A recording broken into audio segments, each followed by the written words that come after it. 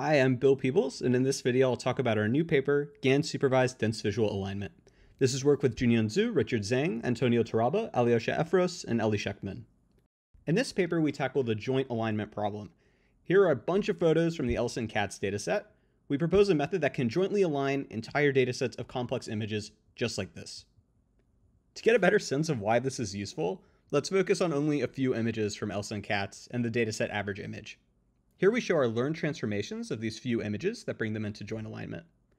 Through the average aligned image, we can find accurate dense correspondences between all of the images. And our algorithm does this without relying on any correspondence supervision whatsoever, and despite being trained exclusively on GAN data. It generalizes automatically to real data at test time. As we'll show later on, our algorithm works surprisingly well when applied per frame to video and can be used to power a variety of mixed and augmented reality applications. Our method takes inspiration from the classic congealing work from Erik Learned-Miller. Congealing showed that you can learn per image affine transformations to bring a dataset into joint alignment in an unsupervised fashion. However, it only worked on simple datasets with limited appearance variation, like binarized MNIST images. In this work, we introduced GANgealing. Rather than learn per image affine warps, we train a spatial transformer network that predicts highly expressive transformations of images and it works for extremely diverse LSUN level datasets. The million dollar question here is how can we actually train this spatial transformer network? And the key insight of our paper is to use a GAN to generate the training data. At a high level, we build a paired dataset to train our spatial transformer network. The input image in each pair is drawn from a GAN pre-trained on the unaligned input distribution. The targets in each pair are formed by gradually interpolating just a portion of the input latent code towards our learned target vector, which roughly controls pose. This leads to target images that retain the appearance of the input, but are rendered in the current template mode. Critically, these targets are learned jointly with the STN end to end. GANgealing is an instantiation of our GAN supervised learning framework where we jointly learn a neural network along with its GAN generated training data. For each training pair, our spatial transformer observes the input fake image and predicts and applies a sampling grid to transform it into the target image. Finally, we apply a perceptual loss between the prediction and the target. A critical point to make this system work is to update both the spatial transformer network itself as well as C, our learn target mode. Note also that the generator's weights are frozen throughout this process. Let's take a look at how our GAN supervised training pairs evolve over the course of training. At the start of training, we initialize the target vector with the truncation trick. And as training proceeds, the target vector learns a mode in the dataset that makes the spatial transformer's job as easy as possible. You can also see that the training data generated by the GAN is sometimes incoherent. For example, all input images, except the second in the left column, do not really feature a coherent cat. We make no effort at all to filter these kinds of bad images during training, and our method just works well even with this imperfect training data. Here's how our learn mode evolves for LSUN dogs. And also for LSUN bicycles. For this dataset, we can see that many of the targets slightly change appearance, such as the color of the bicycle, in contrast to the input. Again, our method trains successfully even with these kinds of imperfect target images. Finally, here's the evolution of our learned training data for LSUN TVs. Note that the initial targets generated with the truncation trick are a pretty poor visual quality, and they don't really even look like a TV monitor. At the end of training, though, they do look like televisions, and this highlights why it's crucial that we optimize the latent to find a high quality template for these challenging data sets. All right, now let's get back to results on real images. And again, just to reiterate, our method is trained only on GAN data, and then it automatically generalizes to work for real images at test time. Here are some successful results on LSUN bicycles. Our method can handle bikes with heavy appearance variations and even out of plane rotation of the wheels and frame. Next up are results on LSUN dogs. GANgealing is able to perform fairly extreme zooms to localize objects of interest, and this is something that we observe very frequently with these LSUN datasets, not just LSUN dogs. Next up is LSUN TVs. GANgealing handles different types of monitors, even those that are different from the template image, correctly localizes small objects, and accurately accounts for some out-of-plane rotation. On Cub, works well for birds with different morphologies and orientations.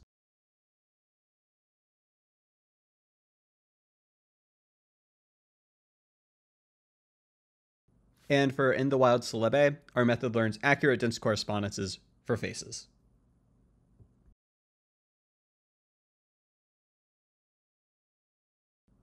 Some especially diverse datasets just can't be well aligned to a single template.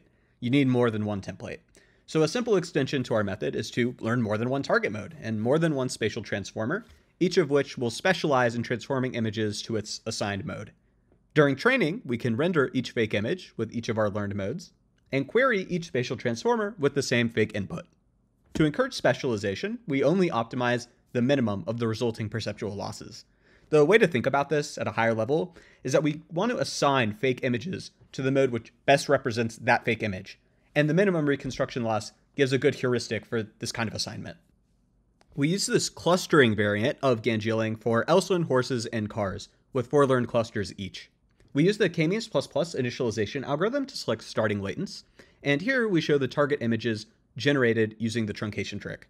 Uh, clearly, this is a really bad template, especially for LSUN horses, and it again shows that you just can't rely on the truncation trick to provide a good template. Here are our four learned clusters at the end of training. And here are our results for LSUN cars. You can see that our clustering essentially partitions 3D space to make the spatial transformer's job as easy as possible. Now let's take a look at some dense correspondence results for a couple of our clusters. Here is one of our clusters for LSUN horses.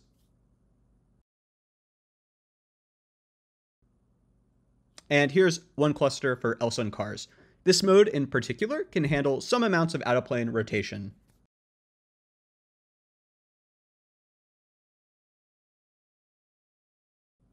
Our average congealed image is a template which can propagate anything to images of the same class. For example, by dragging a Batman mask onto our average congealed cat, a user can effortlessly propagate their edit to a massive number of images. Or a user can put a soldier onto a bird template,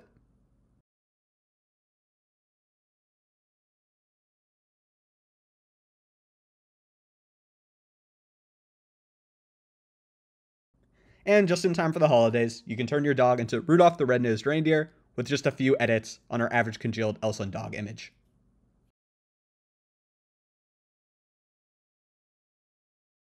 For In the Wild CelebA, our method learns to very accurately handle deformations of the face, which makes it great for propagating things like tattoos that lie on the surface of the face. Or you can add saddles to horses, or you can add unicorn horns with one of our other learned horse templates.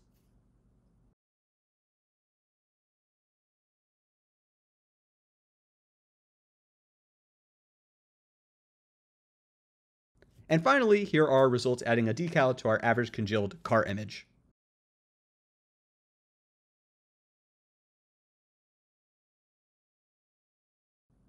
A surprising result of GANgealing is that our spatial transformer empirically works well when applied per frame to videos without leveraging any temporal information whatsoever. This can be used to do single object dense tracking to power various mixed reality applications like object filters. Here are results on many videos. Note that in all cases, we always propagate annotations from our average congealed image. By annotating that single image once, users can propagate their edits to as many videos as they like without any additional annotations required.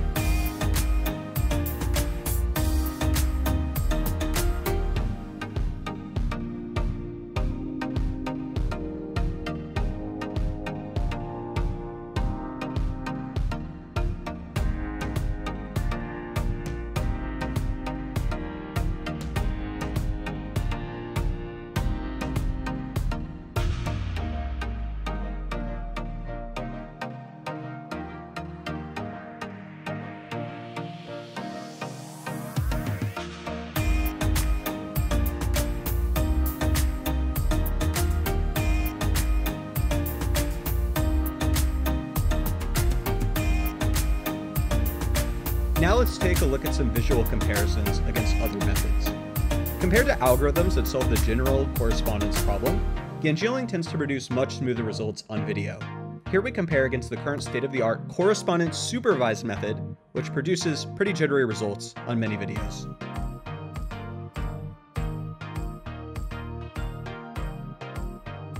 We also compare against Raft, a state-of-the-art supervised optical flow method.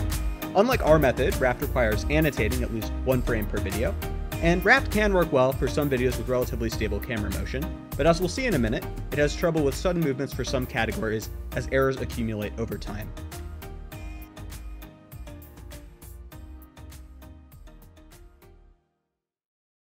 Now let's chat a bit about limitations. This video does a good job at illustrating when our spatial transformer fails.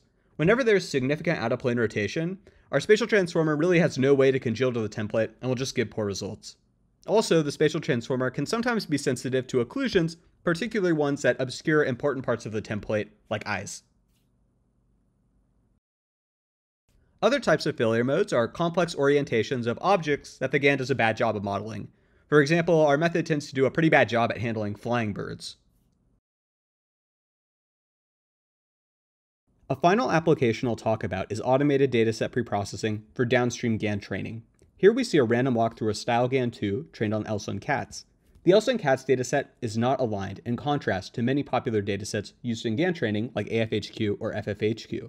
To solve this, we can apply our spatial transformer to align every image in the dataset.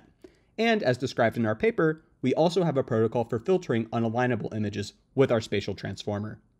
Training again from scratch on our pre-processed LSUN Cats yields higher visual fidelity by reducing the complexity of the distribution. We hope our learned preprocessing will be used in the future to automate the important yet costly step of dataset preprocessing in downstream machine learning applications. For more details and quantitative results, please see our paper. And also check out our GitHub repository for code and pre-trained models, which are available now. Thanks for watching.